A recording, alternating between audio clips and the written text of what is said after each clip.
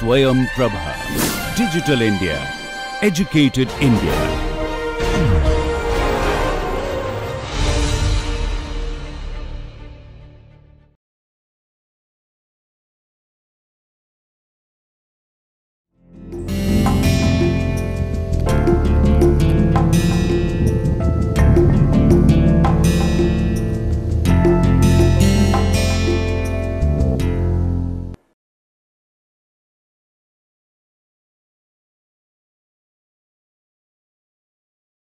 Okay, this is Dr. Ajay Kumar Singh, Assistant Professor, Faculty of Law, BHU.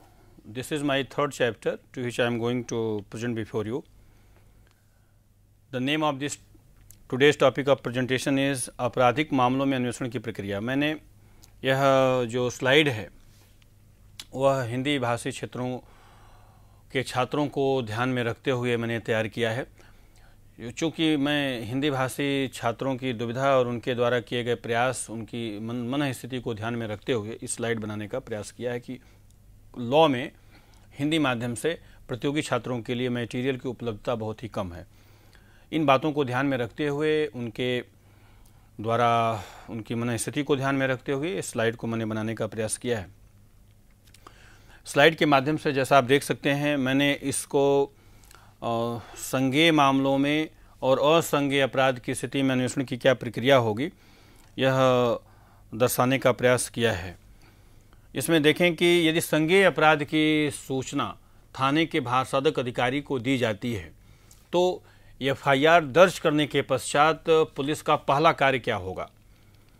मैंने अभी इसके ठीक पहले एक, मेरी जो स्लाइड है, जो मेरी सेकंड स्लाइड है, उसमें मैंने एफआईआर और रिमांड के विषय में बताया। कि संज्ञेय अपराध की सूचना दर्ज करने के पश्चात पुलिस अन्वेषण करेगा।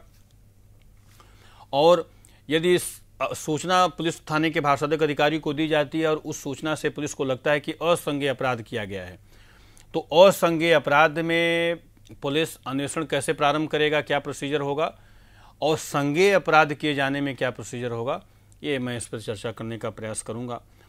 और प्रायः विधि के छात्रों को यह समझ पाने में असुविधा होती है कि अन्वेषण कहाँ तक के कहाँ को सीआरपीसी के अंतर्गत किस धारा से अन्वेषण प्रारंभ होगा और कहाँ तक शुरू होगा, ये उनको थोड़ा सा समझने में असुविधा होती है। तो मैं ये बता दूँ कि संज्ञेय मामलों में अन्वेषण की प्रक्रिया की जब भी बात होगी तो इसका मतलब हम बात कर रहे हैं कि एफआईआर दर्ज हो चुकी है, धारा एक सौ चौवन की बात ही बात हो रही है। चूँकि 154 में एफआईआर दर्ज करने के विषय में प्रोसीजर बताया गया है तो यह अन्वेषण 154 में आएगा नहीं। और सेक्शन 155 में असंज्ञ मामलों में सूचना कैसे दर्ज की जाएगी उसके विषय में बताया गया, जिसको हम एनसीआर बोलते हैं नॉन कॉग्निजेबल रिपोर्ट बोलते हैं। तो अब बची ये दो दो धाराएँ नहीं है तो इसके बाद धारा एक सौ छप्पन बचता है।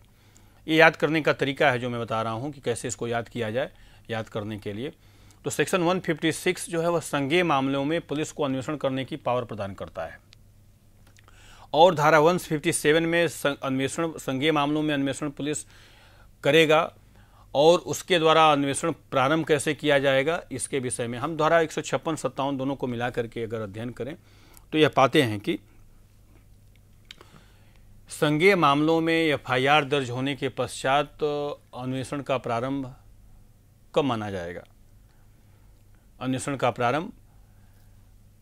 घटना स्थल पर पुलिस का पहुँचना। स्पॉट पर जो प्लेस ऑफ़ अक्रेंस है, उस घटना स्थल पर पुलिस का पहुँचना। और उस घटना स्थल पर पहुंचकर यदि वहाँ पर कोई अपराध में प्रयुक्त की गई कोई सामग्री है तो उसको रिकवर करना रिकवरी करना बरामद जिसको हम बोलते हैं सीजर करना विपन्स का जो अस्त्र शस्त्र हैं, उसको सीज करना। हम इसको टेक्निकल भाषा में बोलते हैं कि डिस्कवरी मेमो तैयार करना रिकवरी मेमो तैयार करना। जो सामान, जो सामग्री पुलिस ने अन्वेषण के दौरान घटनास्थल पर बरामद किया है, उसका एक रिकवरी मेमो तैयार करना। और अरेस्ट मेमो तैयार करना, यदि अभियुक्त को गिरफ़्तार कर लिया जाता है तो अरेस्ट मेमो तैयार करना। ये सब अन्वेषण के पार्ट हैं। पहला, सबसे प्राथमिक कदम संज्ञेय अपराध की सूचना दी एफ़ दर्ज होने के पश्चात पुलिस का घटनास्थल पर पहुँचना और अभियुक्त को गिरफ़्तार करना है। यदि अभियुक्त को गिरफ़्तार हो गया, अरेस्ट कर लिया गया है तो उस अभियुक्त का नाम, पता, उम्र, एज इत्यादि का उल्लेख करते हुए एक मेमो तैयार किया जाएगा, जिसको मेमो को हम अंग्रेज़ी वर्ड बोलते हैं और हिंदी उसका है अर्थ है प्रपत्र। तो अरेस्ट मेमो तैयार किया जाएगा, गिरफ्तारी प्रपत्र तैयार किया जाएगा। उस गिरफ्तारी प्रपत्र के माध्यम से उस अभियुक्त के गिरफ्तारी के समय अभियुक्त ने, अभियुक्त को किस टाइम पर अरेस्ट किया गया है, अभियुक्त के द्वारा कौन सा अपराध किया गया है, इसका उल्लेख किया जाएगा। और उसके परिवार के सदस्य या स्थानीय दो व्यक्तियों के हस्ताक्षर भी समानांतर लिए जाते हैं। वह पुलिस का भी बचाव रहता है कि अभियुक्त यह न कह पाए कि उसका ऐसे गिरफ्तारी हुई, उसके प्रति उसको टार्चर किया गया। तो जब अरेस्ट मेमो तैयार कर लिया जाता है तो वह पुलिस के पुलिस के लिए भी डिफेंस रहता है और अभियुक्त के फ़ायदे की तो बात रहती है। अभियुक्त के बेनिफिशियल अभियुक्त के भी लिए वो फ़ायदेमंद ही रहता है, क्योंकि उस अरेस्ट मेमो में पूरी की पूरी इन्फॉर्मेशन गिरफ्तारी को लेकर के रहेगी। प्रायः पहले नहीं हुआ करता था या न्यायिक हस्तक्षेप के माध्यम से आया है कि हम जानते हैं डी के बसु बनाम पश्चिम बंगाल राज्य आई आर उन्नीस सौ सत्तानवे जो केस है अनवारंट जो इलीगल अरेस्ट है, अवैध गिरफ्तारी को रोकने के लिए और गिरफ्तारी के दौरान, अन्वेषण के दौरान पुलिस किन किन बातों को ध्यान में रखेगी। यह सुनिश्चित करने के लिए भारतीय उच्चतम न्यायालय के द्वारा डी के बासु व state of West Bengal A I R के केस में विस्तृत दिशा निर्देश दिए गए उसमें एक ये भी दिशा निर्देश दिया गया कि गिरफ्तारी से, गिरफ्तारी के समय अभियुक्त के द्वारा नामित व्यक्ति को गिरफ्तारी की सूचना देना कि यह गिरफ़्तार हो चुका है, जिसके उसके परिवार वाले, उसके मित्र भी जान सकें कि अरेस्ट हुआ है किस के द्वारा गिरफ्तारी हुई, कब गिरफ्तारी हुई। और यह गिरफ्तारी करने से क्या होगा कि जो 24 घंटे के भीतर मजिस्ट्रेट के समक्ष प्रस्तुत करने की बाध्यता है संवैधानिक बाध्यता है, और यह अभियुक्त का राइट है कि वह गिरफ्तारी से 24 घंटे के भीतर न्यायालय में प्रस्तुत किया जाए, वरना उसे जो उसके प्रति अत्याचार या एट्रोसिटी, हिंसा होने की संभावना है पुलिस कस्टडी में, उससे भी उसको सुरक्षा प्रदान किया जा सकेगा। तो पहला हो गया कि घटनास्थल पर पहुँचना, अरेस्ट मेमो तैयार करना, रिकवरी मेमो तैयार करना, जैसा कि मैंने स्लाइड में आप देखें, मैंने इसमें लिखने का प्रयास किया है कि धारा एक सौ छप्पन तीन के अंतर्गत यदि न्यायिक मजिस्ट्रेट के द्वारा दिशा निर्देश दिया गया है तो वह अन्वेषण कैसे करेगा? अन्वेषण के पश्चात अब किन किन बातों को ध्यान में रखेगा? दूसरी जो स्लाइड है, मैंने संज्ञे मामलों में अन्वेषण के विषय में जो बनाई है, वह है धारा एक सौ इकसठ का स्टेटमेंट रिकॉर्ड करना। और इस एक सौ इकसठ के बयान का साक्ष्य में कहाँ पर मूल्य होगा? जो प्रोसिक्यूशन विटनेस हम बोलते हैं कि 161 के अंतर्गत जो स्टेटमेंट का ट्रायल के समय, विचारण के समय साक्ष्य में मूल्य क्या होगा? इसको विस्तार से चर्चा करेंगे। तो संज्ञेय मामलों में अन्वेषण के दौरान पुलिस के द्वारा जो दूसरा सबसे महत्वपूर्ण कदम है, गिरफ्तारी के पश्चात और सामग्री बरामद करने के पश्चात, दूसरा महत्वपूर्ण कदम पुलिस के द्वारा उठाया जाने वाला है। वह उस अपराध के विषय में जानकारी रखने वाले व्यक्तियों के स्टेटमेंट को रिकॉर्ड करना। यह पावर सेक्शन 167 सीआरपीसी में पुलिस को प्रदान किया गया है कि थाने का भाषाधक अधिकारी या कोई भी अन्वेषण करने वाला अधिकारी ऐसे व्यक्तियों के कथन जो उस अपराध के तथ्य एवं परिस्थितियों से परिचित हैं, उनसे मौखिक प्रश्न को पूछकर उनके कथन को अभिलिखित करेगा, लेखबद्ध करेगा। इसको हम टेक्निकल भाषा में बोलते हैं प्रोसिक्यूशन विटनेस अभियोजन साक्षी। ऐसे व्यक्तियों को साक्ष्य के रूप में कहाँ पर लाया जाएगा? जब न्यायालय के समक्ष ट्रायल प्रारंभ होगा तो उस समय अभियोजन ही ऐसे अभि, ऐसे गवाहों को, ऐसे साक्षियों को अपने पक्ष में, उनके द्वारा किए गए प्रीवियस स्टेटमेंट को, गवाहों के द्वारा पूर्व में दिए गए बयान को अपने पक्ष में साबित करने के लिए न्यायालय के समक्ष अभियोजन साक्षी के रूप में प्रस्तुत करता है। ये वहाँ पर उनकी उपयोगिता होती है। अब सेक्शन 161 में प्रश्न होता है कि क्या यदि मैं किसी अपराध के विषय में जानकारी रखता हूँ तो पुलिस मुझसे पूछताछ करने आती है। क्या मैं उस प्रश्न का उत्तर देने के लिए बाध्य हूँ, या मैं पुलिस को इनकार कर सकता हूँ कि मतलब I am not bound to reply I am not bound to give the answer of your question which is being asked by investigating officer during investigation जो अन्वेषण के दौरान पुलिस के द्वारा प्रश्न पूछे जा रहे हैं, उस प्रश्न को उत्तर देने के लिए क्या व्यक्ति बाध्य है या बाध्य नहीं है? यह एक महत्वपूर्ण प्रश्न है। तो यह इसका उत्तर धारा 161 में ही लिखा हुआ है कि प्रत्येक व्यक्ति जो अपराध के तथ्यों, परिस्थितियों से परिचित है, उस पुलिस के द्वारा पूछे गए प्रश्नों का सही जवाब उत्तर देने के लिए, सत्य कथन करने के लिए विधिक रूप से बाध्य है। सिवाय उन प्रश्नों को छोड़कर जो प्रश्न उस व्यक्ति को किसी अपराध में या दंड में, शास्ति में फांसने वाले हों। पुलिस अन्वेषण के दौरान यदि कोई प्रश्न ऐसा किसी व्यक्ति से पूछता है जो स्वयं उसे अपराध में फंसाने वाले हों, उस प्रश्न को वह व्यक्ति उत्तर देने के लिए बाध्य नहीं बता सकता कि I am not bound to give this answer अन्यथा, यदि वह अपराध के विषय में परिचित है, अपराध घटित हुआ, उसके समक्ष मर्डर हुआ है, वो ये नहीं कह सकता कि मैंने आँखें बंद कर ली थी, मैंने कुछ देखा ही नहीं।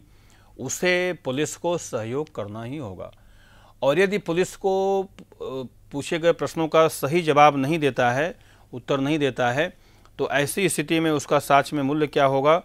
यह इसी स्लाइड के अंतर्गत देखें कि जब ऐसा व्यक्ति अन्वेषण के दौरान पुलिस के द्वारा पूछे गए प्रश्नों का उत्तर नहीं देता है तो वह एक अपराध करता है। कौन सा अपराध है? कि पब्लिक अथॉरिटी को अन्वेषण के दौरान सहयोग न करना या पूछे गए प्रश्नों का उत्तर न देना एक अपराध। दूसरा, यदि वह मिथ्या साक्ष्य दे देता है, मिथ्या कथन देता है पब्लिक पब्लिक अथॉरिटी को तो मिथ्या साक्ष्य देने के आरोप में भी मिथ्या कथन देने के आरोप में भी आईपीसी के अंतर्गत, भारतीय दंड संहिता के अंतर्गत उसे दंडित किया जा सकता है। अब इसमें ही देखिए, लिखा हुआ है, मिथ्या साक्ष्य देने के लिए आईपीसी की धारा एक सौ तिरानवे के अंतर्गत बाध्य होगा। फॉल, गिविंग फॉल्स एविडेंस मिथ्या साक्ष्य देने के आरोप में भी अभियोजित किया जा सकता है।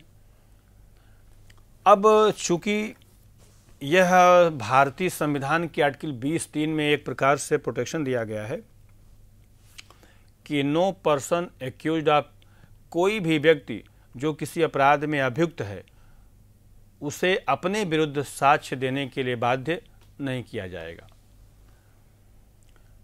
अब सेक्शन 161 में जो शब्दावली यूज़ की गई है कि any person who is acquainted with the fact and circumstances of the case English के माध्यम से इसको स्पष्ट करें। कोई व्यक्ति any person who is acquainted with the fact and circumstances of the case shall be bound to give truly answer to the question asked by the investigating officer जो अन्वेषण अधिकारी है, उसके द्वारा पूछे गए प्रश्न का सही उत्तर देने के लिए कोई भी व्यक्ति जो तथ्य परिस्थितियों से परिचित है, बाध्य है। अब एनी पर्सन के अंतर्गत क्या अभियुक्त भी सम्मिलित है? वह अभियुक्त जिसके ऊपर सस्पेक्ट है डाउट है, किसने अपराध किया है? यदि वह ऐसा कोई उससे प्रश्न किया जाता है, जो स्वयं उसे किसी अपराध में फांसने वाला है तो उसका दावा कर सकता है।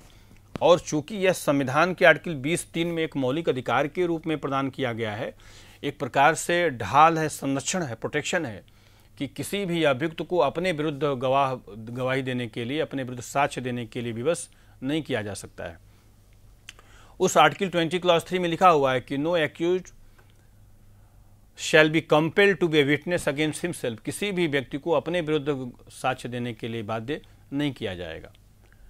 तो यह भारतीय संविधान निर्माताओं ने पुलिस अथॉरिटी इन्वेस्टिगेटिंग एजेंसी के द्वारा अन्वेषण के दौरान यूज़ किए गए माध्यमों टेक्निक्स तरीके को से अवगत थे और यह निर्दोष व्यक्तियों को टार्चर न किया जाए, पुलिस कस्टडी में उनके प्रति कोई हिंसा न हो। इससे संरक्षण प्रदान करने के लिए आर्टिकल बीस तीन का प्रावधान किया गया। यह सर्वप्रथम उच्चतम न्यायालय के समक्ष एक विचारणी प्रश्न के रूप में स्लाइड के माध्यम से मैं बताने का प्रयास करूँगा। एक केस इसमें लिखा हुआ, मैंने हाईलाइट भी किया है उसको रेड में। नंदनी सप्तपथी इसको Nandini Satpathy versus P L Dani A I R nineteen Supreme Court. इस नंदनी सप्तपथी बहुत ही पॉपुलर लोकप्रिय केस है। आप सभी इसको भारतीय संविधान के आर्टिकल बीस तीन में भी इसका पढ़े इसको पढ़ेंगे। सीआरपीसी की धारा 161, 162 में इसको पढ़ेंगे। करप्शन के केस में पढ़ेंगे। इसमें फैक्ट में थोड़ा संक्षेप में तथ्य को बताना चाहूँगा कि जो अपीलार्थी नंदनी सप्तपथी हैं ये उड़ीसा राज्य की भूतपूर्व मुख्यमंत्री थे, जिनके विरुद्ध भ्रष्टाचार के मुकदमे पंजीकृत किए गए थे। पुलिस अन्वेषण के दौरान इनसे पूछताछ के लिए पुलिस थाने में बुलाती है। और जब पुलिस अन्वेषण करने के दौरान इनसे कुछ पूछताछ करती है तो इन्होंने बोला कि वह पुलिस का हर जवाब, पुलिस के हर प्रश्नों का उत्तर देने के लिए बाध्य नहीं है। क्योंकि यह आर्टिकल एक सौ, यह आर्टिकल बीस तीन में भी लिखा हुआ है कि किसी भी अभियुक्त को अपने विरुद्ध देने के लिए, गवाही देने के लिए बाध्य नहीं किया जा सकता। उच्चतम न्यायालय के समझ जो विचारणी प्रश्न यह थे कि क्या एनी पर्सन के अंतर्गत अभियुक्त भी सम्मिलित है? क्या अभियुक्त को भी इसका प्रोटेक्शन मिल सकता है या किसी मात्र किसी गवाह को, साक्षी को? तो सुप्रीम कोर्ट के द्वारा इस केस में पहली बार कहा गया कि कोई भी व्यक्ति जो शब्दावली है, उसके अंतर्गत अभियुक्त व्यक्ति भी सम्मिलित है। यदि अभियुक्त व्यक्ति को कोई ऐसा साक्ष्य देने के लिए विवेश किया जाता है जो स्वयं उसके विरुद्ध है तो यह प्रोटेक्शन यह संरक्षण तो धारा एक में ही कहा गया है। और यह आर्टिकल 20 तीन में भी इसका उल्लेख किया गया है। तो यह केस का, इस केस का उल्लेख करना यहाँ पर वाजिब मैंने समझा, इस, इसीलिए मैंने इस केस का उल्लेख 161 में कहा। जैसा कि धारा 162 भी इसी किया गया है कि पुलिस से किए गए कथनों का हस्ताक्षरित न किया जाना। यदि पुलिस अन्वेषण के दौरान कोई ऐसा स्टेटमेंट कथन लेती है रिकॉर्ड करती है जो कन्फेशनल नेचर का है अभियुक्त से कोई स्टेटमेंट कन्फेस करा लेती है तो साक्ष्य में मूल्य क्या होगा? मैंने इसके पहले ही स्लाइड में बताया कि सेक्शन 24, 25, 26 में इसके अपवाद दिए गए हैं कि पुलिस के द्वारा कोई उत्प्रेरणा धमकी इंड्यूसमेंट थ्रेट न दिया जाना अन्वेषण के दौरान और धमकी या उत्प्रेरणा इंड्यूसमेंट प्रलोभन दे करके यदि अभियुक्त से कोई संस्कृति कराई गई है कन्फेशन कराया गया है तो उसका साक्ष्य में कोई मूल्य नहीं होगा। यह धारा 25 में भी लिखा हुआ है कि पुलिस से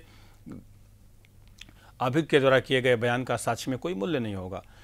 तो ऐसी स्थिति में ये जो अन्वेषण के दौरान पुलिस क्या क्या कदम उठा सकती है, एक तो ये भी है, और उस अन्वेषण को कैसे, उस अन्वेषण की पवित्रता कैसे कायम रखी जाए, उसकी पायसनेस को कैसे मेंटेन किया जाए न केवल स्टैचूट में ही प्रावधान किया गया है, बल्कि न्यायालय ने न्यायिक हस्तक्षेप के माध्यम से और विशेषकर उच्चतम न्यायालय ने न्यायिक हस्तक्षेप के माध्यम से पुलिस के लिए एक दर्पण का, मिरर का काम एक दिशा निर्देश दिया है कि अन्वेषण के दौरान पुलिस किन किन किस हद तक जा सकती है और उस बाउंड्री, उस लक्ष्मण रेखा से क्रॉस अगर करना, वह पुलिस के विरुद्ध भी कार्रवाई की जा सकती है। न केवल विभागीय कार्रवाई की जाएगी, बल्कि उस दूसरी जो फाल्टी इन्वेस्टिगेशन है, फाल्टी चार्जशीट है वह उसके विभागीय कार्रवाई के साथ साथ उसको भी उत्तरदायी ठहरा सकता है। तो उच्चतम न्यायालय के द्वारा जो निर्णय के माध्यम से उच्च विभिन्न वादों के माध्यम से, केस के माध्यम से भी एक दिशा निर्देश दिए गए हैं कि अन्वेषण जो आप इन्वेस्टिगेशन जो है विद इन लीगल फ्रेमवर्क करेंगे। विधिक ढांचे के, विधिक लीगल फ्रेमवर्क के भीतर ही होगा और वह भी बिल्कुल एक स्पेसिफिक डायरेक्शन में भी किया जाएगा। डायलूशन उसमें किसी प्रकार से डायलूट नहीं किया जा सकता है। तो संज्ञेय मामलों में अन्वेषण के लिए तीसरा जो मैंने बताया कि अरेस्ट मेमो और डिस्कवरी रिकवरी मेमो तैयार करने के पश्चात अभियोजन साक्षियों का स्टेटमेंट रिकॉर्ड करना। अब जैसा कि मैंने आपको बताया इसको एक केस के माध्यम से समझें। आप सभी लोग एक केस जानते होंगे। एक अमरमणि त्रिपाठी बनाम Uttar Pradesh versus state of UP का केस है। उसमें एक निधि शुक्ला जो मृतका की बहन है, उसके द्वारा चूँकि वो सी वॉज़ आई विटनेस, वह वह उस घटना की एक चश्मदीद गवाह थी एफ़ आई आर भी उसी के द्वारा कराया गया था। और वह उस प्रोसिक्यूशन विटनेस भी थी, वो एक चश्मदीद गवाह, एक महत्वपूर्ण गवाह भी थी। उसी की गवाही के आधार पर उस मामले में, जैसा कि आप जानते होंगे, पहले क्लोजर रिपोर्ट फ़ाइल किया गया और बाद में उसमें चार्जशीट लग गई और अभियुक्त को दोषित किया गया पति उसमें जो अभियुक्त है और पत्नी दोनों को आजीवन कारावास की सज़ा सुनाई गई। और वह केवल और केवल जो प्रोसिक्यूशन विटनेस है, उसकी पवित्रता आप देखें कि यदि प्रोसिक्यूशन विटनेस अपने अन्वेषण के दौरान पुलिस से किए गए कथनों पर कायम है तो उसके कथन का साक्ष्य में कितना मूल्य होगा, यह उस केस के माध्यम से देखा जा सकता है। उस, जिसमें कि निधि शुक्ला नाम की जो मृतका की बहन थी, वह अभियोजन साक्षी के रूप में अपनी ही बहन को न्याय दिलाने के लिए वह सत्र न्यायालय और हाई कोर्ट के समक्ष अपने पहले बयान से रिट्रैक्ट नहीं की होस्टाइल नहीं हुई, जिसका नतीजा हम देखते हैं कि अभियुक्त को दोषसिद्धि हो गई। परंतु अन्य मामलों में हम जब देखते हैं, जैसे जाहिरा शेख मामला है और बहुत ऐसे आपराधिक मामले आप देखते होंगे कि जो प्रोसिक्यूशन विटनेस है, वो न्यायालय के समय जब ट्रायल में मामला आता है, विचारण में मामला आता है तो वहाँ होस्टाइल हो जाता है, विमुख हो जाता है, वह पक्षद्रोही हो जाता है, वह अभियुक्त के फेवर में बात करने लगता है। इसलिए विचारण न्यायालय भी, ट्रायल कोर्ट भी साक्ष्य के अभाव में अभियुक्त को बरी कर देता है, दोषमुक्त कर देता है। तो हमारा जो अन्वेषण का जो तीसरा स्टेप है, पुलिस के द्वारा अभियोजन साक्षियों की जो लिस्ट है, लिस्ट कितनी लंबी होगी, अभियोजन साक्षियों की कितनी संख्या होगी, यह इस बात पर निर्भर नहीं करता है। कन्विक्शन दो सिद्धि मात्र इस बात पर निर्भर करता है कि जो प्रोसिक्यूशन विटनेस हैं, कितने कम हैं, कितने ज़्यादा हैं, इस पर निर्भर नहीं करता।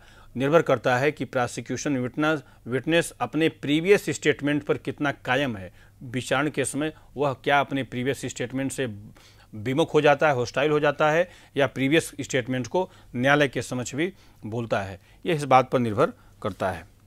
अब, अन्वेषण के अंतर्गत, यह मैंने कई स्टेजेज मैंने बताया कि कई चरण हैं। तो पहला स्टेप हो गया अरेस्ट हो गया, अभियुक्त गिरफ़्तार हो गया, सामग्री बरामद हो गई।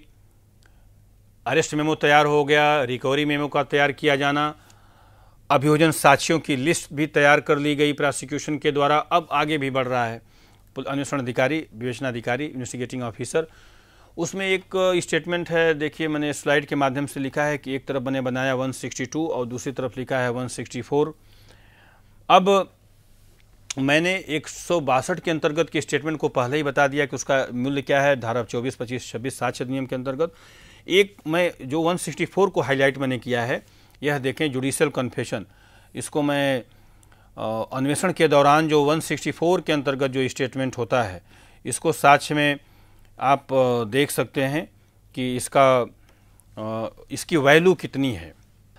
ये जो संशोधन हुआ है हज़ार तेरह में 2013 में आपराधिक विधि के अंतर्गत, अन्वेषण के दौरान यदि अभियुक्त का कथन। धारा 164 के अंतर्गत दो प्रकार की स्टेटमेंट को रिकॉर्ड करने के लिए मजिस्ट्रेट सशक्त है। एक, सीआरपीसी की धारा एक सौ चौसठ वन सिक्सटी फोर न्यायिक मजिस्ट्रेट को यह शक्ति प्रदान करती है कि वह अन्वेषण के दौरान किसी अभियुक्त से या किसी व्यक्ति से जो तथ्य एवं परिस्थितियों से परिचित है, उसके कथन को लेखबद्ध कर सकता है। शपथ पर, ओथ पर उसकी परीक्षा करेगा।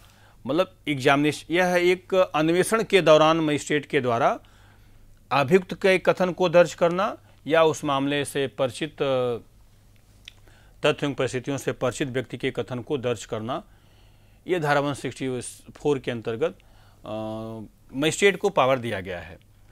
अब मैं इस इस जगह यह बताना उचित समझूँगा कि छात्रों को यह जान लेना कि कन्फेशन दो प्रकार का है। इसी अन्वेषण में मैं थोड़ा उसको क्विकली हाईलाइट कर दूँ कि कन्फेशन दो प्रकार का judicial confession extra judicial confession यह धारा 164 जुडिशियल कन्फेशन की बात करती है कि अगर जुडिशरी जुडिशियल मजिस्ट्रेट के समक्ष अभियुक्त कन्फेस करता है कि I have committed murder I have committed this offence मैंने अपराध किया है तो यह न्यायिक संस्कृति होगी यदि मजिस्ट्रेट के समक्ष किया जाता है। और यदि वह शपथ पर ले लिया गया है, यद्यपि न्यायिक मजिस्ट्रेट अभियुक्त से उसके संस्कृति को लेखबद्ध करते हुए यह बात, इस बात को सुनिश्चित करेगा, इस बात को बताएगा कि अभियुक्त अपने अपराध को स्वीकार करने के लिए, स्वीकृत करने के लिए बाध्य नहीं है। लेकिन जो कुछ भी वह स्वीकार करेगा, वह उसके विरुद्ध साक्ष्य के रूप में प्रयोग में लाया जा सकेगा।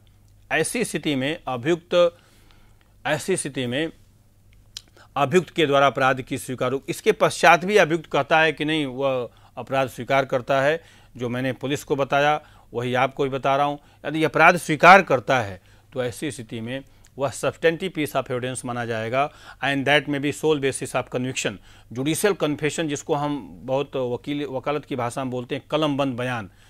वह उसका साक्ष्य इतना महत्वपूर्ण है जुडिशियल कन्फेशन का, कि जुडिशियल कन्फेशन में अभियुक्त को सजा हो सकती है और वो दुसिद्धि का एकमात्र आधार हो सकता है।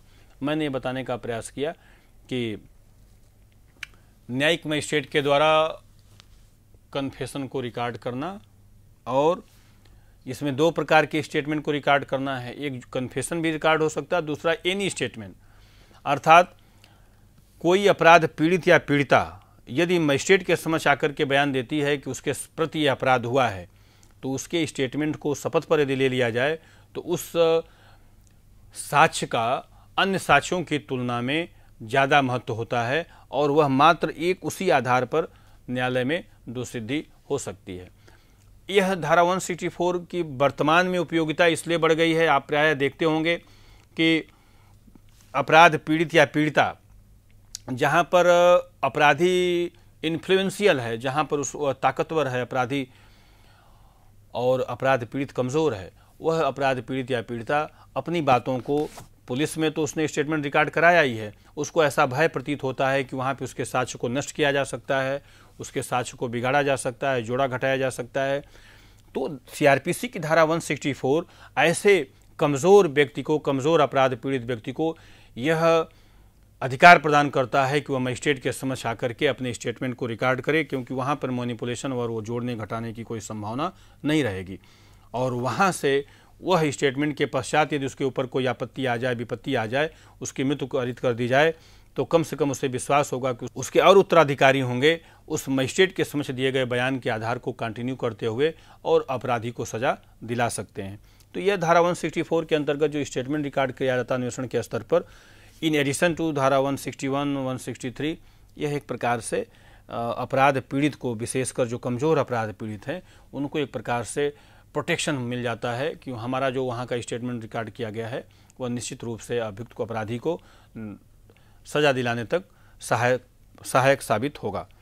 मैंने इसमें और स्लाइड के माध्यम से मैं बताने का प्रयास करूँगा कि वर्ष 2009 से अभियुक्त के संस्कृति को ऑडियो या वीडियो के माध्यम से अभियुक्त के अधिवक्ता के उपस्थिति में न्यायिक मजिस्ट्रेट के द्वारा शपथ पर दर्ज किया जाएगा। ये वर्ष 2009 से यह आवश्यक नहीं है कि अभियुक्त को मात्र स्टेटमेंट रिकॉर्ड करने के लिए मजिस्ट्रेट के समक्ष लाया जाए। इससे सरकार के अनावश्यक खर्चे को लाने जाना, उसको अभियुक्त को सुरक्षा प्रदान करना, पुलिस स्कॉट देना और ये सबको ध्यान में रखते हुए ये प्रावधान कर दिया गया कि अभियुक्त को, अभियुक्त के स्टेटमेंट को ऑडियो के माध्यम से या वीडियो कॉन्फ्रेंसिंग के माध्यम से उसके संस्कृति को न्यायिक मजिस्ट्रेट अभियुक्त के अधिवक्ता की उपस्थिति में रिकॉर्ड कर सकता है। अभियुक्त के अधिवक्ता की उपस्थिति इसलिए कही गई कि अभियुक्त बाद में न कह सके कि मुझे मेरे ऊपर कोई दबाव था और अभियुक्त का अधिवक्ता उपस्थित होना यह साबित कर देगा कि अभियुक्त के ऊपर किसी प्रकार का कोई दबाव भय नहीं था और उसने स्वैच्छिक रूप से वह कन्फेशन किया है संस्कृति किया है। इसलिए इस पर एक केस है जो स्लाइड के माध्यम से आप देख रहे होंगे। सबसे नीचे मैंने लिखा है, अजमल कसाब बनाम महाराष्ट्र राज्य ए आई आर दो हज़ार बारह, सुप्रीम कोर्ट। ये जो अजमल कसाब का मामला है, ये बॉम्बे बम ब्लास्ट में आप देखे होंगे। कि अजमल कसाब जो पाकिस्तानी आतंकवादी था उसको आ, उसका जब विषाण चल रहा था जब ट्रायल चल रहा था तो उसके द्वारा जो कन्फेशन की गई कन्फेशन को जो रिकॉर्ड किया गया उसमें सुप्रीम कोर्ट ने कह दिया कि अब इलेक्ट्रॉनिक या वीडियो कॉन्फ्रेंसिंग के माध्यम से भी उसके स्टेटमेंट को जहाँ पर अपराधी पेशेवर है दुर्दांत है ऐसी परिस्थितियों में उसके स्टेटमेंट को वहीं से वीडियो कॉन्फ्रेंसिंग के माध्यम से या उसमें वीडियो कॉन्फ्रेंसिंग से उसको इलेक्ट्रॉनिक मीन से या हम रिकॉर्ड कर सकते हैं ऑडियो या वीडियो के माध्यम से। यह अजमल कसाब बनाम महाराष्ट्र राज्य ए आई दो हज़ार बारह सुप्रीम कोर्ट स्लाइड में आप देख सकते हैं। मैंने इसका उद्धरण, मैंने इसको उद्धृत किया है। तो अब मैं समझता हूँ कि अन्वेषण में जो सबसे फोर्थ इंपॉर्टेंट स्टेप है कि अभियुक्त के आवेदन पर न्यायिक मजिस्ट्रेट के द्वारा या पुलिस के द्वारा आवेदन दिए जाने पर अभियुक्त के स्टेटमेंट को मजिस्ट्रेट के समक्ष रिकॉर्ड कराना, या अपराध पीड़ित या पीड़िता स्वयं न्यायिक मजिस्ट्रेट के समक्ष आकर के अन्वेषण के दौरान अपने स्टेटमेंट को कथन को रिकॉर्ड कर सकती है कि मैंने जो प्रीवियस स्टेटमेंट दिया है, मैं उस पर कायम हूँ। और ये इसमें निधि शुक्ला वाला जो अमरवड़ी का केस है, उसको भी आप देख सकते हैं कि 164 के अंतर्गत भी उसका बयान हुआ और उसी बयान के आधार पर आगे की कार्रवाई हुई और कन्विक्शन दो सिद्धि हुआ। नेक्स्ट अब इसमें जो मेरी जो अगली जो स्लाइड है अन्वेषण के स्तर पर यह बहुत ही इंपॉर्टेंट है। अन्वेषण इसमें देखें, जो मैंने लिखा है। अब ये हो गया कि क्या क्या मैंने बताया अभी अन्वेषण के स्तर पर। इन्वेस्टिगेशन के दौरान संज्ञेय अपराध की सूचना प्राप्त होने पर थाने के भाषाधक अधिकारी के द्वारा घटनास्थल पर पहुँचना, अभियुक्त को गिरफ़्तार करना रिकवरी मेमो तैयार करना प्रोसिक्यूशन विटनेस के स्टेटमेंट लेना, जो सरकारी गवाह हम जिसको बोलते हैं हिंदी में, अभियोजन साक्षियों की लिस्ट तैयार करना 164 के बयान को दर्ज कराना, अभियुक्त का एग्जामिनेशन कराना मेडिकल एग्जामिनेशन कराना दोनों रूप में, दोनों के लिए फ़ायदेमंद की बात है। वह मेडिकल एग्जामिनेशन अभियुक्त का भी राइट है कि उसको मेडिकल एग्ज़ाम एग्जामिन कराया जाए, कि इसलिए यह दोनों के लिए बेनिफिशियल है। कि प्राय हम देखते हैं कि अभियुक्त जब अरेस्ट होता है तो अपने हाथ पैर पे चल के आता है और जब वह कस्टडी से बाहर आता है तो पता चला कि उसके पैर में चोटें आ गई, हाथ में चोटें आई चल नहीं पा रहा है। तो यह तब होता है जब वह पुलिस कस्टडी में उसके प्रति टॉर्चर किया जाता है। वह वह ऐसी परिस्थितियों में अभियुक्त स्वयं आवेदन दे के मजिस्ट्रेट की कोर्ट में कि मेडिकल एग्जामिनेशन की बात कर सकता है कि उसका परीक्षण कराया जाए कि उसके दोनों हाथ पैर सही हैं और जिस रूप में गए उसी रूप में उसको बाहर आना है। और उस समय जो मेडिकल रिपोर्ट तैयार होगी, उस समय की, और जब बाहर की, जब उसके कस्टडी के बाद जब छूट के आएगा, उस समय में अगर कोई विरोधाभास है तो निश्चित रूप से यह पुलिस के अगेंस्ट मामला जाएगा। और पुलिस भी कि अभियुक्त उसके खिलाफ न चला जाए, कि इसने टार्चर किया है अपने बचाव में भी, अगर वह मेडिकल एग्जामिनेशन करा लेती है तो कम से कम ये बताती है कि जब मैंने मेडिकल एग्जामिनेशन कराया तो स्थिति ये थी, और बाद में स्थिति यथावत है, इसलिए मैं, कोई इसमें कोई परिवर्तन नहीं।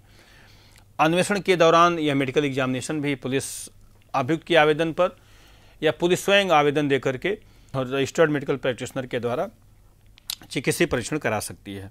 अब जैसा कि मैंने अभी प्रीवियस स्लाइड में बताया, रिमांड एक प्रावधान है।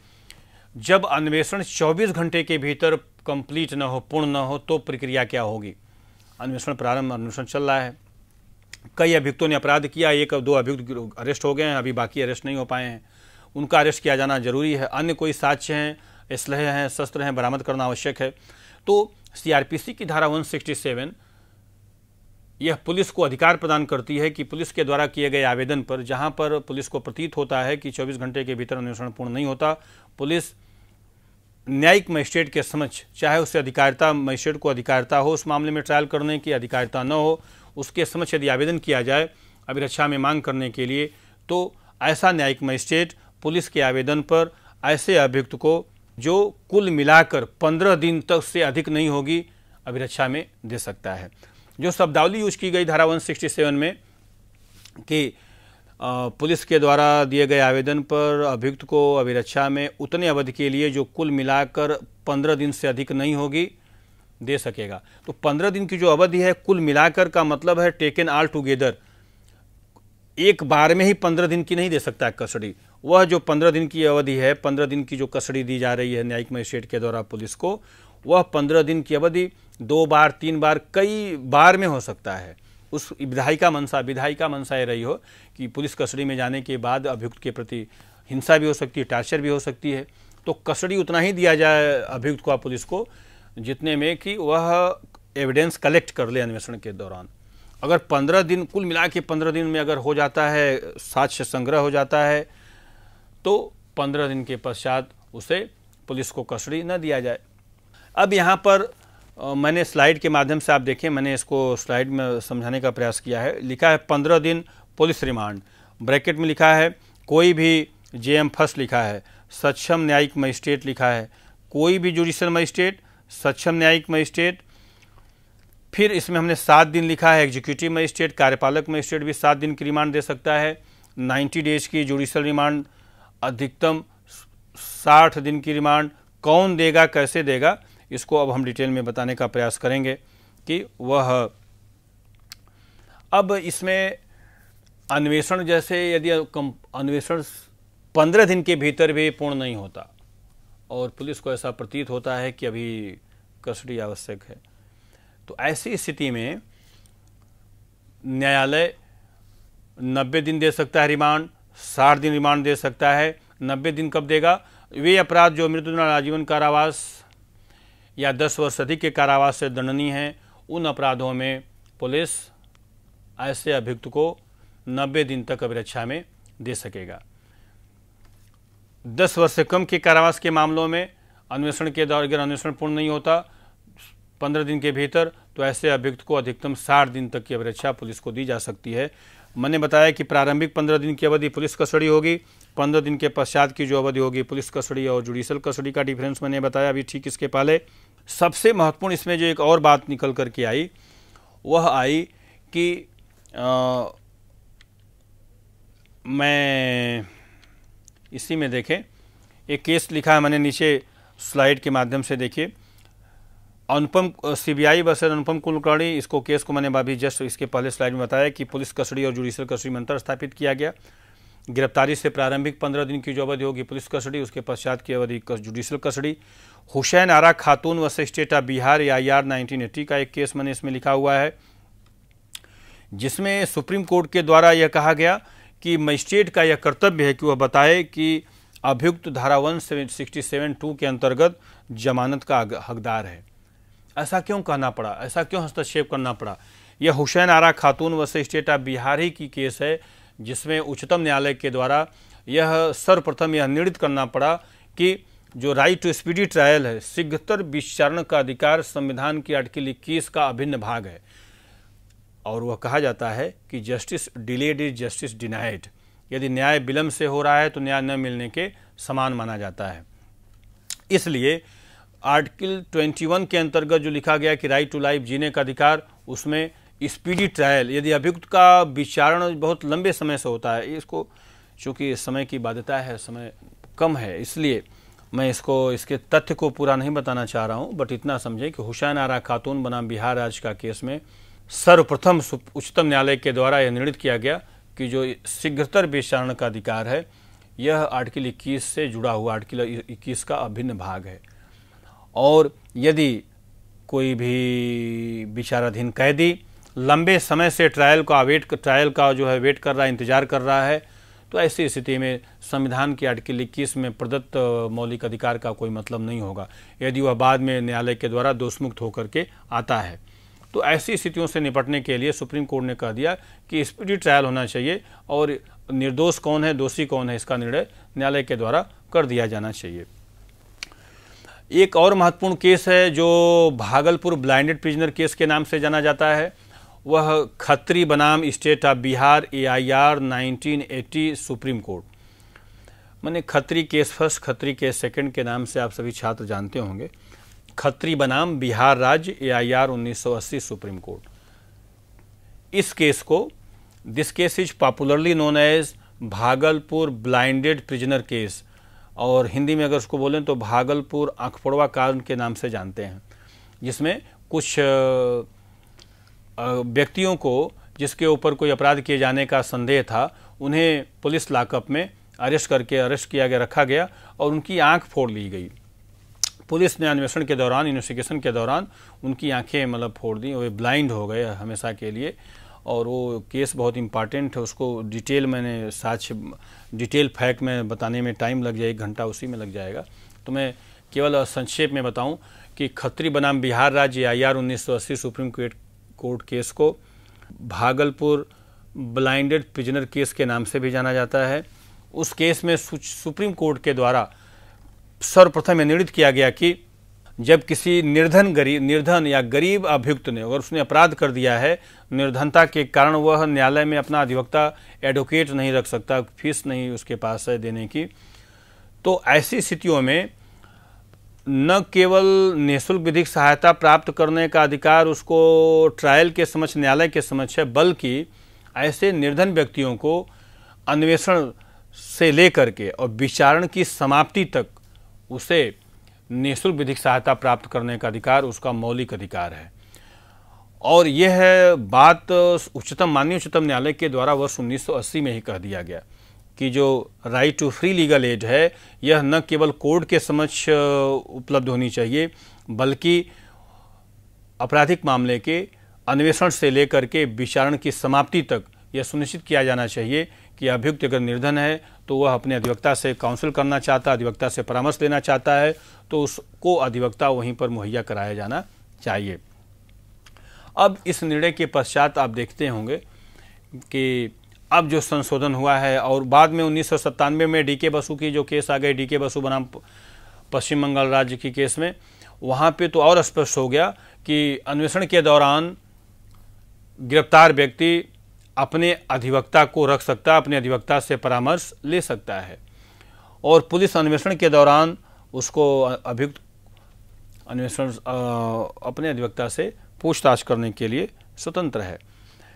मैंने इसके बाद जो स्लाइड के माध्यम से ये बताने का प्रयास किया है, आप इसमें देखें कि अगर दो स्थितियाँ आ जाएँ, एक अभियुक्त के विरुद्ध जो एफआईआर हुई है, वो एफआईआर हुई है बाइगेमी की, द्विविवाह की। और उसी जो कंप्लेंट में दो धाराएँ लगाई गई हैं। पीड़ित महिला ने लगाया है कि उसके पति ने दूसरा विवाह कर लिया है और उसके प्रति क्रूरता करता है, उसको फ़िज़िकल टॉर्चर करता है। फ़िज़िकल टार्चर क्रूरता आईपीसी की धारा चार सौ अट्ठानवे क के अंतर्गत परिभाषित किया गया है और उसमें मैक्सिमम पनिशमेंट क्रुएल्टी में दिया गया है तीन वर्ष, अथवा जुर्माना अथवा दोनों। लेकिन जो नेचर ऑफ़ ऑफेंस है, वह संज्ञेय अपराध बनाया गया और जमानती अपराध बनाया गया है। बाइगेमी जबकि दूसरी तरफ़ बाइगेमी जो है वह जमानती अपराध है और असंज्ञेय अपराध है। अगर एक कंप्लेंट में दो धाराएँ लगी गई हैं, एक धारा उसमें संज्ञेय है, अजमानती है, दूसरी असंज्ञेय और जमानती है तो उस पूरे कंप्लेंट को किस रूप में कंसिडर किया जाएगा और उसमें फिर रिमांड कितनी होगी, इसको सुप्रीम कोर्ट के द्वारा मैं बताने का प्रयास करूँगा। इस स्लाइड में आप देखें, भूपेंद्र सिंह बनाम, Jarnail Singh A I R दो हज़ार छः सुप्रीम कोर्ट की केस में इसमें कहा गया कि अगर ऐसी स्थितियाँ आती हैं जहाँ पे दहेज हत्या का मामला है तो डावरी डेथ के मामले में मिनिमम पनिशमेंट सात वर्ष का है। मैक्सिमम पनिशमेंट जो है आजीवन कारावास है। तो रिमांड कितना दिया जाए? तो ये बेनिफिट ऑफ़ डाउट जो है या अक्यूज को दिया जाता है कहा गया। सुप्रीम कोर्ट ने कहा कि ऐसी स्थिति में नब्बे दिन के नब्बे दिन का रिमांड दिया जा सकता। लिखा है लिखा मैंने इसमें लिखा है कि ऐसी स्थिति में remand up to ninety days हो सकता है। नाइन्टी डेज़ क्यों हो सकता है? मैंने जैसा कि बताया डावरी डेथ का केस मिनिमम पनिशमेंट से सात वर्ष का कारावास है। आजीवन और अधिकतम कारावास आजीवन कारावास का है। तो यदि अन्वेषण पंद्रह दिन के भीतर पूर्ण नहीं होता दहेज हत्या के मामले में और पुलिस का समाधान है कि अभियुक्त को कस्टडी में लेना आवश्यक है तो कितने दिन तक सुप्रीम कोर्ट ने कहा कि ऐसी स्थिति में अभियुक्त को नब्बे दिन तक कस्टडी में लेकर के पूछताछ की जा सकती है। रिमांड जो यद्यप की वह कस्टडी, जुडिशियल कस्टडी होगी, यद्यप की वह न्यायिक अभिरक्षा होगी नब्बे दिन की, परंतु अभियुक्त को नब्बे दिन का ही लाभ माना जाएगा, साठ दिन नहीं जाएगा। इसलिए थोड़ा सा इसको क्लियर करने की आवश्यकता हुई। अभी जस्ट इसके पहले जो मैंने बताया, खत्री बनाम स्टेट ऑफ़ बिहार या यार उन्नीस सौ इक्यासी सुप्रीम कोर्ट, इसको पुनः उल्लेख करना चाहेंगे संक्षेप में। आप सभी इसको देखें। मैं बार बार इस पर फोकस इसलिए कर रहा हूँ कि यह बहुत इंपॉर्टेंट केस है। इसमें सुप्रीम कोर्ट ने जो हस्तक्षेप किया, सुप्रीम कोर्ट के द्वारा निर्णित किया गया स्लाइड पर आप देखें कि राज्य का यह संवैधानिक दायित्व तो है कि वह निर्धन अभियुक्त को न केवल विचारण के दौरान, बल्कि जब वह रिमांड के लिए पेश किया जाए तो उसे निःशुल्क विधिक सहायता दी जाए। अर्थात, जो निःशुल्क विधिक सहायता का अधिकार है, यह केवल अभियुक्त, निर्धन अभियुक्त को न्यायालय में ही नहीं बल्कि रिमांड के दौरान पर ही उपलब्ध कराया जाए। यह खत्री बनाम स्टेट ऑफ़ बिहार की केस में सुप्रीम कोर्ट के द्वारा किया गया। इसको मैं जैसे अगर इसको लिखें, इस पर नहीं हो पाया है। इसे भागलपुर ब्लाइंडेड प्रिजनर केस के नाम से इसको जानते हैं। ब्लाइंडेड प्रिजनर केस अभी मैंने इसका उल्लेख किया भी तो आप सभी लोग इसको स्लाइड के माध्यम से देख भी सकते हैं। अब इसके पश्चात आते हैं नेक्स्ट स्लाइड पर। अन्वेषण की समाप्ति। रिमांड भी हो गया। रिमांड में पुलिस ने सारे कलेक्ट सारे एविडेंस कलेक्ट कर लिए, साक्ष्य संग्रह हो गए। अब पुलिस किसी एक अन्वेषण के पश्चात अन्वेषण अधिकारी एक निष्कर्ष पर पहुँचना चाहता है। तो हम इसको कंक्लूजन रिपोर्ट बोलते हैं। अब अन्वेषण की समाप्ति हो गई। अन्वेषण की समाप्ति पे पुलिस के द्वारा दो प्रकार के इन्फ्रेंस ड्रॉ किए जा सकते हैं। दो प्रकार का निष्कर्ष पुलिस लगा सकती है। या तो अपराध हुआ या अपराध नहीं हुआ। तीसरी कोई बात इसमें नहीं हो सकती। छात्रों के लिए सबसे हितकर बात होगी कि स्टूडेंट ये समझ पाएँ कि अब अन्वेषण कंप्लीट हो गया है तो अन्वेषण कंप्लीट के पश्चात पुलिस को केवल या तो सोचना है कि अपराध हुआ है या कथित अपराध जो एफ़ आई आर हमारे समझ आई है, उस एफ़ आई आर से हमको लग गया कि अपराध नहीं हुआ है। स्लाइड के माध्यम से आप ये देखें कि मैंने ये बताने का प्रयास किया है। इसमें पुलिस रिपोर्ट लिखा है धारा एक सौ तिहत्तर लिखा हुआ है। धारा एक सौ तिहत्तर उपधारा दो एक में विशिष्ट रूप से स्पेसिफिकली चार्जशीट को दिया गया है। चार्जशीट में क्या क्या चीज़ें होंगी, यह मैंने स्लाइड में पूरा स्पष्ट रूप से लिखा है। तो अन्वेषण की समाप्ति के पश्चात जब पुलिस का यह समाधान हो जाए कि अभियुक्त के द्वारा ही अपराध किया गया है तो ऐसी स्थिति में सीआरपीसी की धारा एक सौ तिहत्तर उपधारा दो एक पुलिस को यह शक्ति प्रदान करती है कि पुलिस अन्वेषण की समाप्ति के पश्चात संबंधित उस न्यायालय में, जिस न्यायालय को उस मामले में संज्ञान लेने की पावर है, या जिस न्यायालय के अधिकार क्षेत्र के भीतर वो अपराध घटित हुआ है, उस न्यायिक मजिस्ट्रेट के समक्ष उस पुलिस रिपोर्ट को प्रस्तुत करे। इस पूरे अन्वेषण की समाप्ति के पश्चात पुलिस के द्वारा इस निष्कर्ष पर पहुँचना कि अभियुक्त ने ही अपराध किया है, उसे हम पुलिस रिपोर्ट बोलते हैं और पॉपुलर भाषा में चार्जशीट बोलते हैं आरोप पत्र बोलते हैं। क्या क्या चीज़ें पुलिस रिपोर्ट में सम्मिलित होंगी? स्वयं सीआरपीसी की धारा 173 में दिया हुआ है। स्लाइड में आप देखें पक्षकारों के नाम होंगे। सूचना की प्रकृति 154 एफआईआर के माध्यम से आ गई। लिस्ट ऑफ़ प्रोसिक्यूशन विटनेस मैंने कि बताया, धारा 100 जो 161 वाला स्टेटमेंट है, उसका डिटेल यहाँ पे दिया होगा। अभियुक्त गिरफ़्तार हुआ या नहीं, इसका स्टेटमेंट उस रिपोर्ट में किया जाएगा। अरेस्ट मेमो इट मीन्स कि अरेस्ट मेमो है या नहीं है। क्या पीड़िता तीन सौ छिहत्तर का बयान दर्ज हुआ, पूरा विवरण 164 के स्टेटमेंट उसमें होंगे। और यदि कोई पूरक सप्लीमेंट्री सीट है, पुलिस को लगता है कि अन्य कोई साक्ष्य से इसमें मामला अन्वेषण में और महत्वपूर्ण आ सकता है तो सप्लीमेंट्री चार्जशीट जिसका उल्लेख सीआरपीसी की धारा 173 उपधारा 8 में दिया गया है। उसको भी इसमें लगाते हुए और वह पूरी रिपोर्ट उस न्यायालय के समझ प्रस्तुत करेगी। अभी प्रश्न होता है कि पुलिस रिपोर्ट कहाँ जाएगी? तो स्वाभाविक है पुलिस रिपोर्ट पुलिस के द्वारा अन्वेषण समाप्ति के पश्चात उस न्यायालय में प्रस्तुत किया जाएगा, जिस न्यायालय के अधिकार क्षेत्र के भीतर वह थाना आता अपराध घटित हुआ है।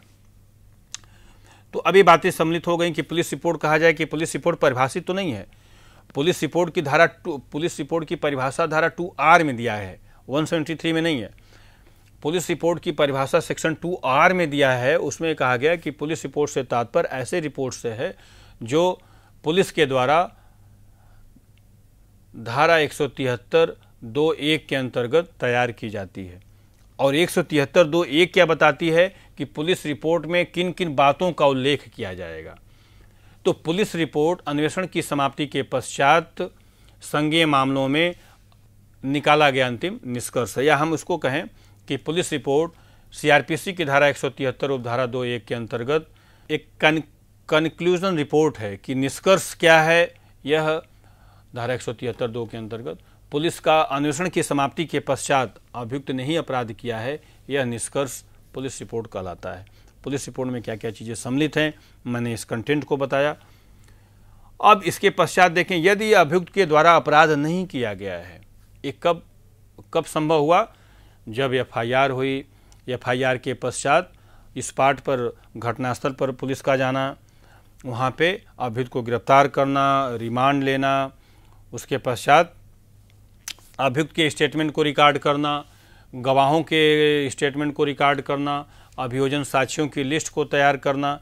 अब सभी जब अभियोजन साक्षियों की लिस्ट धारा एक इकसठ के स्टेटमेंट को रिकॉर्ड करना 164 के स्टेटमेंट को रिकॉर्ड करना, पूरा एक चेन, पूरी एक श्रृंखला है कि यह from the registration of FIR और till the completion of investigation, FIR registration से लेकर के और अन्वेषण की समाप्ति तक। कितनी धाराएँ हैं?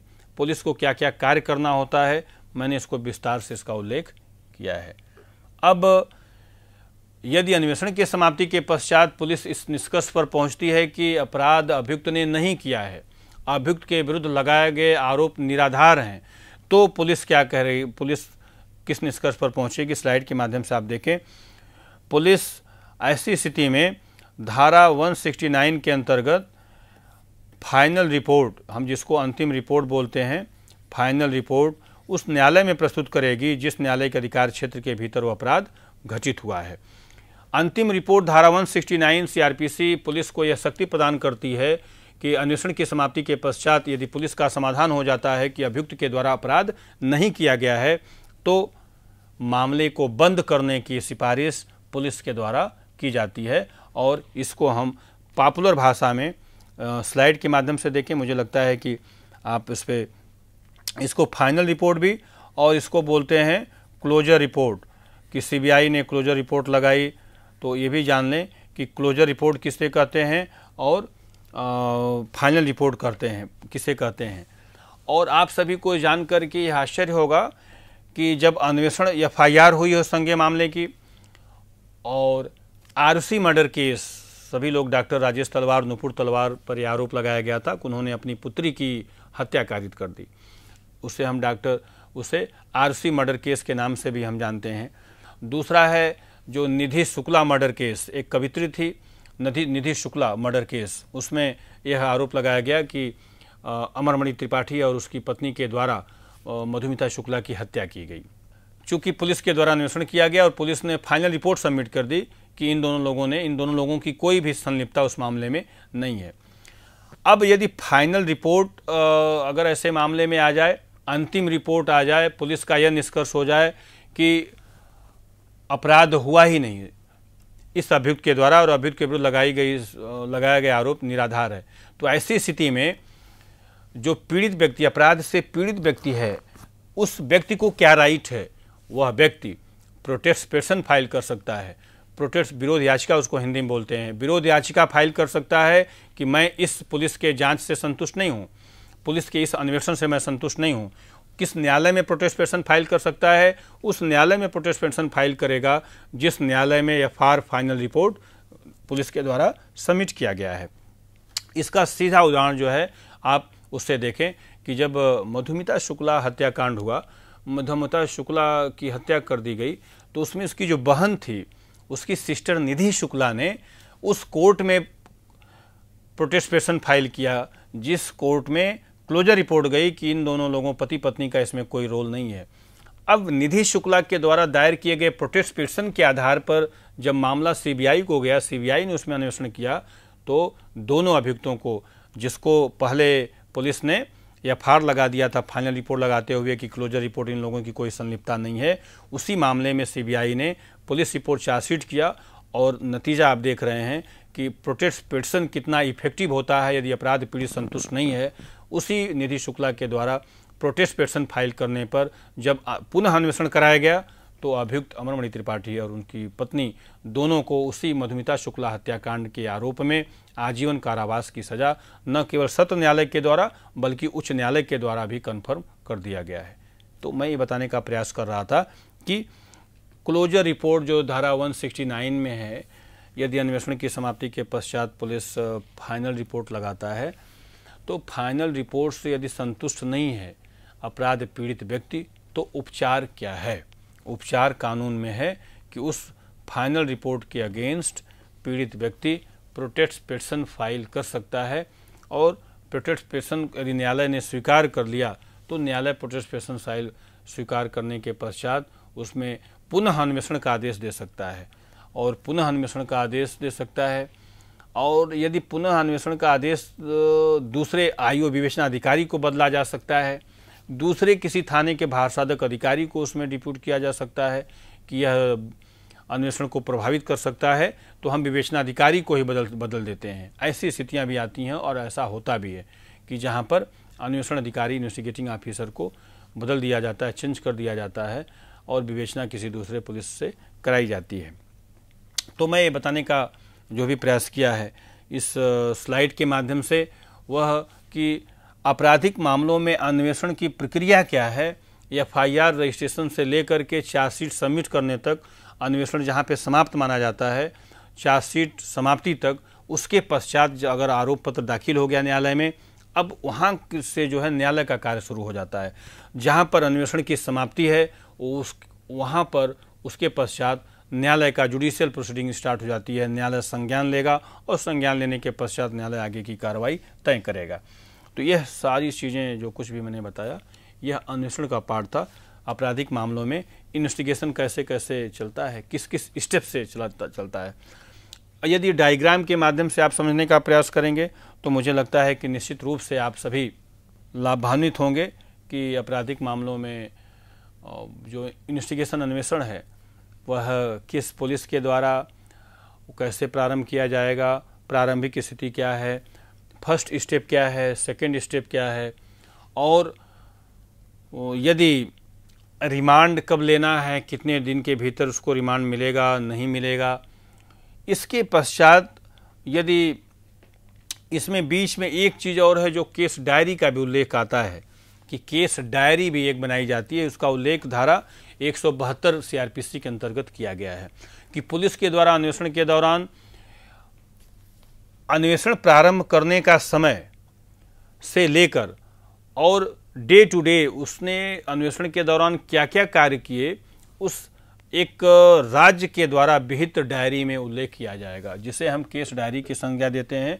वह धारा एक सौ बहत्तर वन सेवेंटी टू सी के अंतर्गत उसका प्रावधान दिया गया है। उसकी साक्ष्य में उपयोगिता क्या है केस डायरी की?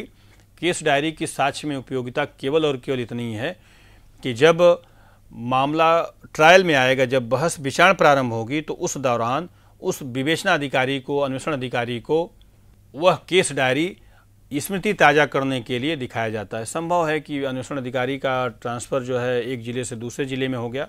उसने साल भर पहले छः महीना पहले जो अन्वेषण किया था अब दूसरे ज़िले में जाने से वह भूल गया है। ये स्वाभाविक है, मानव स्वभाव है कि उसको हर हर हर आपराधिक मामले में कितने गवाह थे, कौन मुलजिम है अभियुक्त है, यह यादकार यह यह याद रखना मुश्किल है।